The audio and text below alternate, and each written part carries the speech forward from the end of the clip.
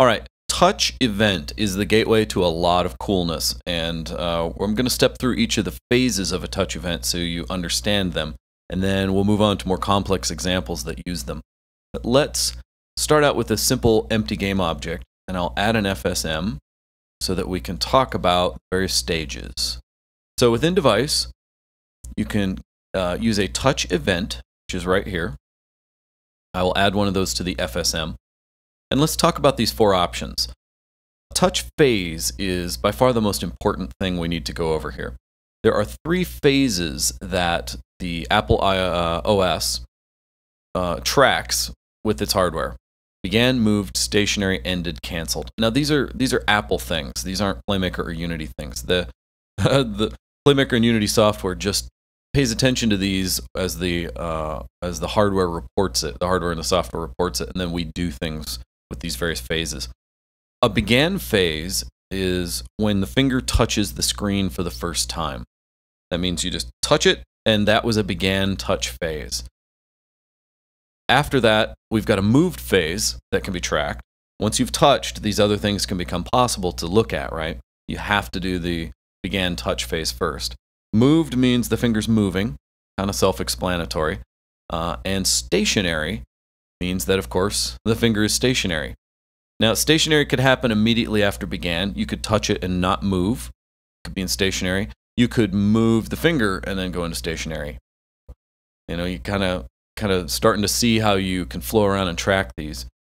Ended means that the finger was lifted from the screen or otherwise somehow disappeared. Uh, this can happen if you drag the finger all the way off the edge of the screen and onto the edge of the hardware. It's it's still ended, right? The finger has left the screen in some way.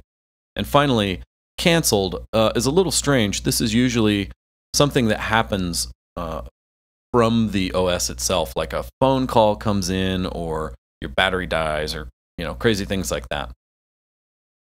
You won't be using this quite as much as the other ones, but it's really important to know about because at times you want to make sure to check for that. These simple phases give you a lot of uh, a lot of options for how to deal with your fingers and track what's going on at any given time. Let's go ahead and get rid of this and look at a more specific example. I've got our old friend, the crazy cruddy wood, wooden crate here, and let's look at this simple FSM I've created. I start out in an idle state, and I have one touch event, and it looks for the began touch phase. That means it's, hang- it's hanging around waiting for a finger click, right? That's all it is, or a finger touch.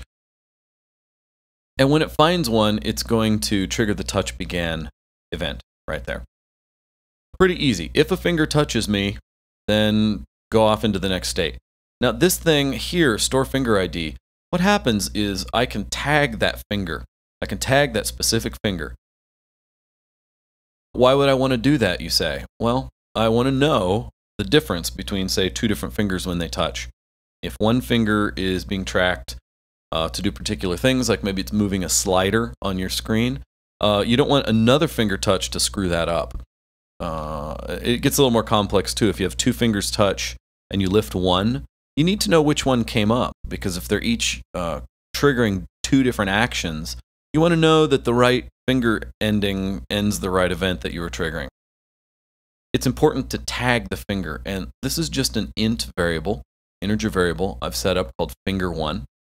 And I store it right here. So whatever touches the screen in this event gets tagged as finger1. And that can be checked somewhere else. So let's look at what happens when we move into our touching state. First of all, I look for more touch events. Uh, the first one here is ended. So uh, I want to know did the finger that just touched, did it lift off the screen again? So did somebody touch it and lift? That would kind of be a tap. And if you'll notice, finger ID here in touch event, we stored it down here on the other one.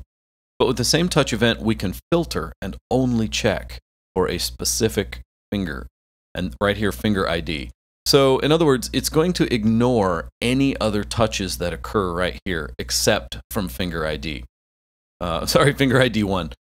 So we're looking for an ended phase from finger one, and if it if it uh, finds this, it's going to trigger the touch ended, which means uh, you lifted your finger. So let's go back and wait. And that's all that happens. If you touch, I flow between those two states. Uh, I have a second touch event. It's totally okay to have more than one touch event in one state. Uh, in fact, you'll want to do this quite often. So here, once again, I'm filtering for only finger one. I don't really care if any other fingers touch the screen. And I'm looking for moved. So if the user touches and then moves their finger, it will trigger right here this moving event. And I don't, again, need to store finger ID because I already have one. I'm not looking for new touches. And finally, I've thrown in a filter for finger one and a touch canceled. And if that happens, it essentially does the same thing as uh, a touch ended. It moves back here to the beginning state for us. If this state is, is active, this rotate action is going to rotate the cube in the Y angle, or the crate here, just so we have some feedback to know what state we're in. Uh, you could do anything here. You could play an animation. You could uh, increase the value of, you know, like you're pressing a button to do a boost on a on a speedboat in your game or whatever. You can take any action you want here while also looking for other touches. So the rotation of the cube is just to show you that we can uh, do action right here in the same state while this is going on. You don't always want your touch events uh, and your game action in the same place. Uh, in fact, oftentimes it's going to be better if you separate them. But for this example, uh, it, it works great in the same spot. So that's it, a rotate there. But let's say that this, uh, this moving event occurs. Let's go look at what happens here. Uh, I do a different rotate. I rotate on a different angle here, just so we see uh, that something different is going on. But otherwise, I'm looking for the same things. Finger one ended, then I'm going to go back to the idle state right there.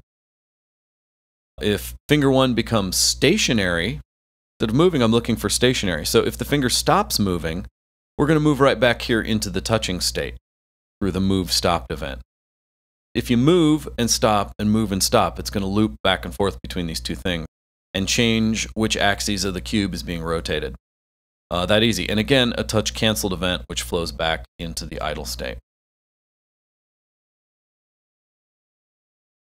This is something that, uh, again, kind of like uh, a lot of these other examples, I really suggest you rig this up yourself or use this example and uh, just start touching your device and seeing what happens. And and look at the output uh, either from the state name or from like just rotate a cube or something like I'm doing here and play with it to really get an idea uh, of how these touches work, uh, you know, how much you move them, how they feel, all that. Just get comfortable with it through a simple example like this, and then we can move on and do much cooler things using this as a gateway.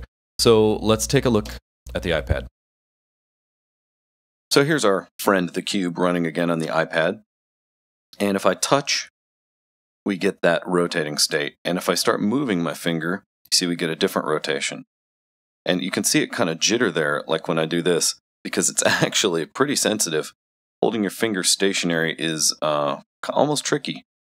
so you can see it doesn't matter where I'm moving, as long as it's moving, we get that one type of rotation. And if I hold still, you can actually see if you look in the middle, it's, it's jumping around. It's pretty hard to keep my finger still. And letting go stops it. So that is touch events.